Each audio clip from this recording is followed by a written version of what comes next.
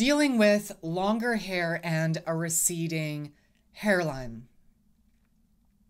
I'm scared. Welcome back to the channel. This is Dimitria Sparrow, aiding you in the journey to freedom and femininity. I do have an Instagram and a Facebook page, so make sure you're following me there. And if you like videos like this, be sure to subscribe. I wanted to make this because this may not be something uh, we kind of uh, talk about. There's probably one of you out there who is going through something similar and you don't really know where to go from here. Have you grown out your hair? Is it starting to recede? And whenever you do it up into some sort of hairstyle, it hurts. We're gonna jump into that. So let's start with some context. So I am a trans woman by definition. I was born male and I transitioned at 19. I am 22. I had good hair to start with as a young guy. It's not hereditary for me to have gotten male pattern baldness. I transitioned at 19 and by the time I was nearly 20, I started doing estrogen. In terms of balding, if that could ever happen to me, it's not hereditary.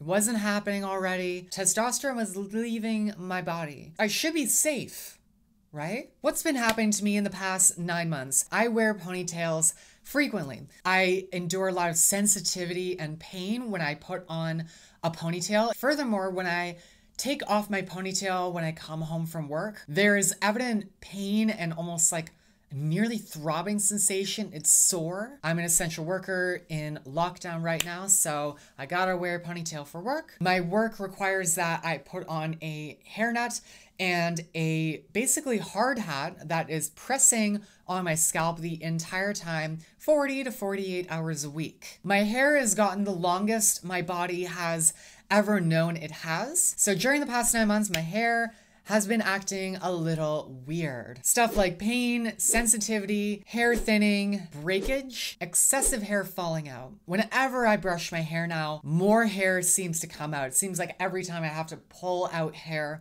from my brush. So whenever I brush my hair at the sink, brushing it down, down like this, on the sink, there are broken fragments of hair just falling and scattering. My forehead, like I said, has appeared to have receded, which is one of my big insecurities as a girl. Hair, my hairline appears shorter, thinner and sparser. So what is it I'm dealing with? Why is my hair receding? What is it and how can I treat it? Being the research junkie I am for this channel, I did extensive research and I wanted to figure out what exactly was causing it, and it is a little something called traction alopecia. Traction alopecia is a form of what's called alopecia, which is loss of hair from either the head or from the body. In traction alopecia's case, the loss of hair is caused by a constant pulling of some sort that is forcing the pulled hair to become weaker and eventually break off fall and they basically can't survive, you may not be able to grow the hair there anymore. It's not something that happens overnight. Usually it comes from wearing a certain hairstyle. Ballerinas and gymnasts, you'll find sometimes they have like larger foreheads, and it's because of putting their hair up in a bun for extended periods of time, like months or years. Perfect example of someone who basically has it. I don't know if their forehead always looked like that. But if you look at JoJo Siwa, for example, you can kind of tell she does that sort of ponytail all the time. It looks like her hairline's supposed to start like right here, but it looks like it's back here.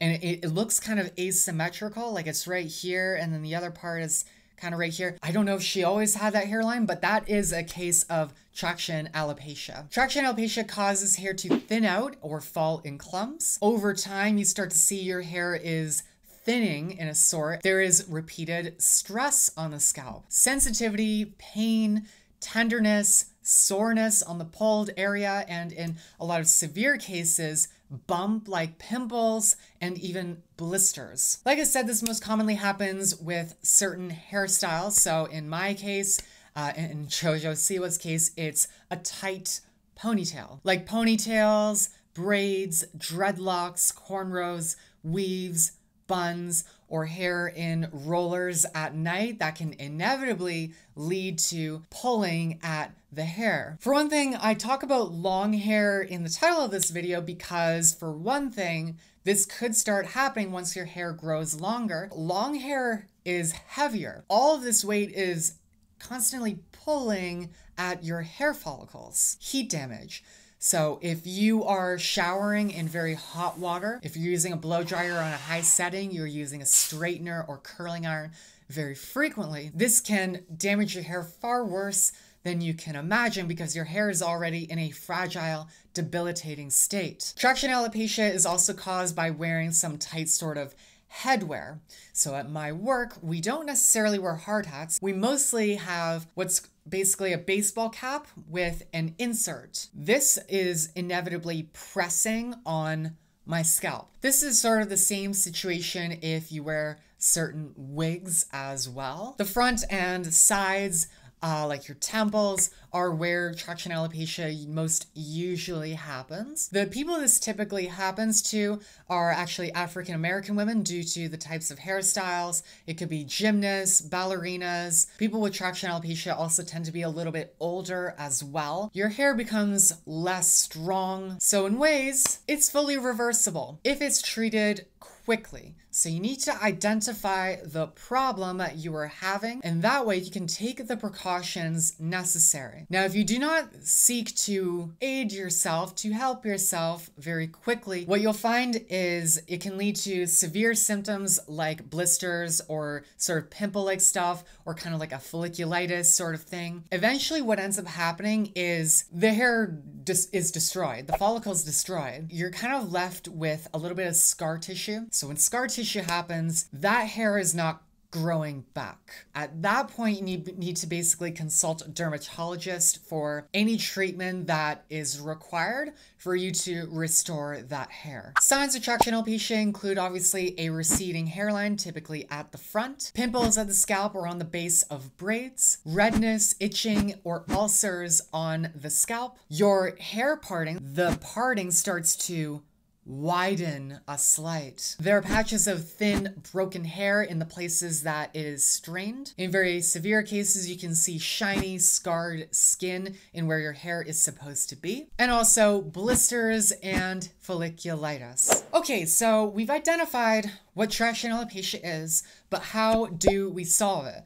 I want to get to the bottom of this very quickly because I love my hair. I don't want to turn into Kevin O'Leary. We're going to find out what to do with traction alopecia, how to defeat it. There are practical things you can do in your daily hair routine, and also there are certain products that will aid you in helping to strengthen your scalp once again. Don't do your hair up or at least as minimally as possible, only when you need to. If you do have to wear ponytails, wear them loose and wear them low. For one thing, don't sleep in ponytails either. You have no idea the way you're tossing and turning at night. If you sit on the scrunchie or uh, the band or the ponytail, that's gonna severely pull at your hairline. What you don't wanna do is tie your hair when it's wet. So, say when you're out of the shower. The reason this is severe is because, like I said, with long hair comes a bigger weight on the follicles.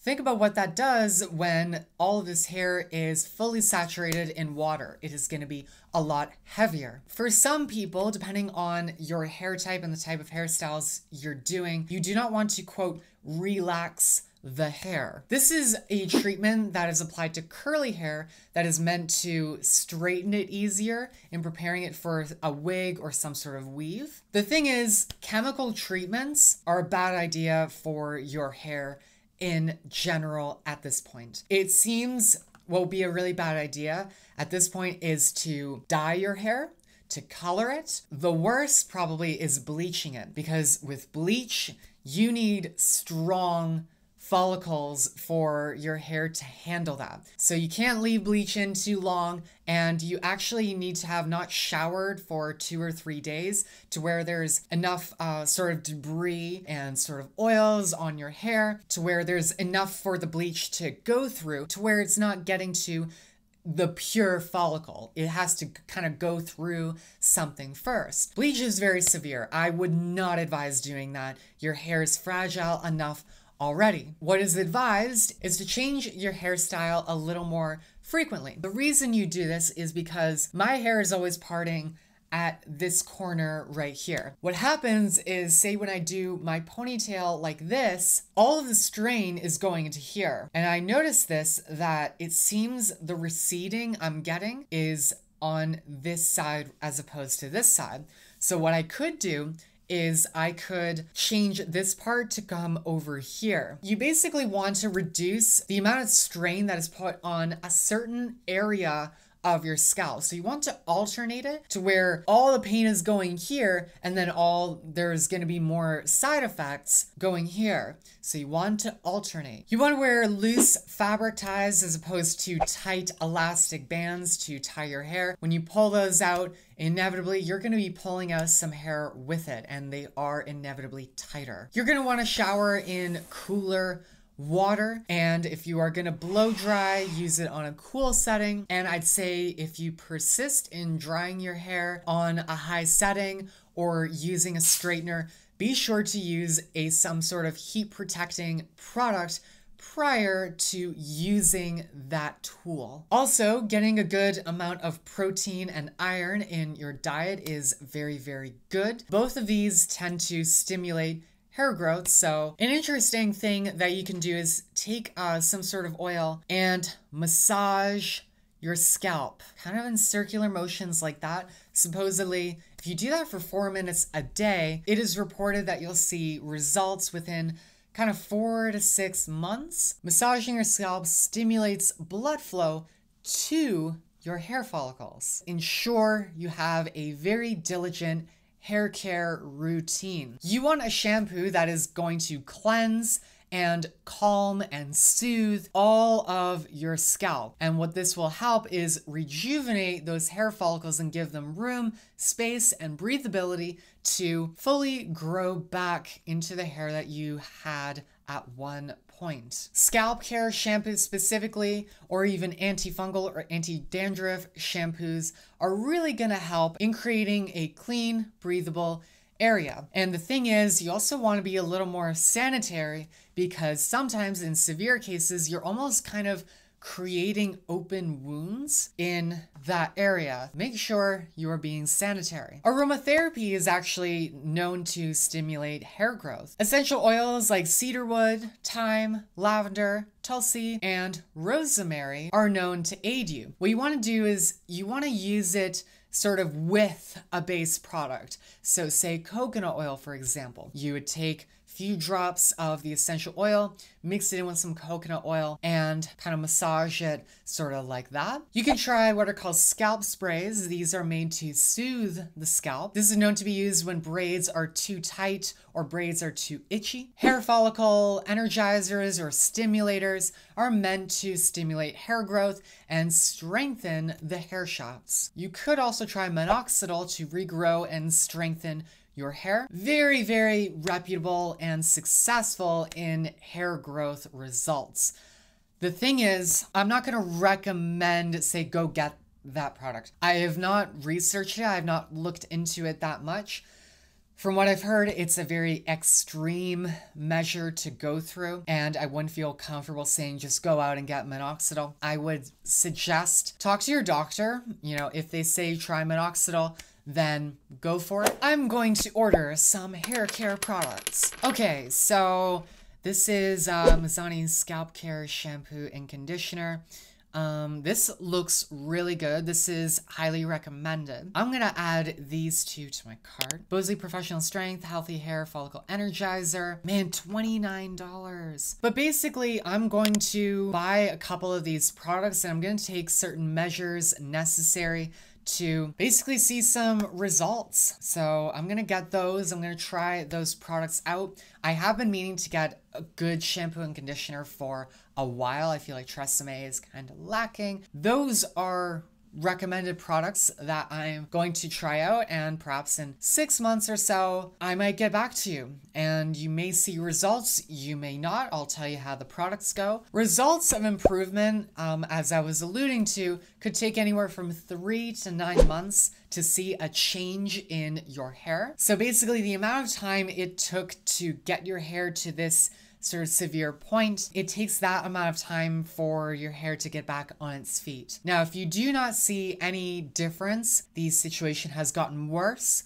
that is when I would say consult a dermatologist, talk to your doctor. They'll conduct a biopsy to examine the state of your hair and they will suggest the right medical treatment for you. This is something I wanted to address. I don't see a lot of people really talking about it. I don't know if it's as big a deal as I'm thinking it could be. It just seemed when I grew up my hair, when I started putting my hair in different styles, when my body was noticing that my hair was a little heavier, when I started wearing ponytails all the time when I never really had to, that is when issues started to happen. There it is. I hope you enjoy it. If you do have any questions or concerns or advice, please comment down below. I am not a big YouTuber, so I will surely answer all of your questions, and I will ask you some questions about traction alopecia.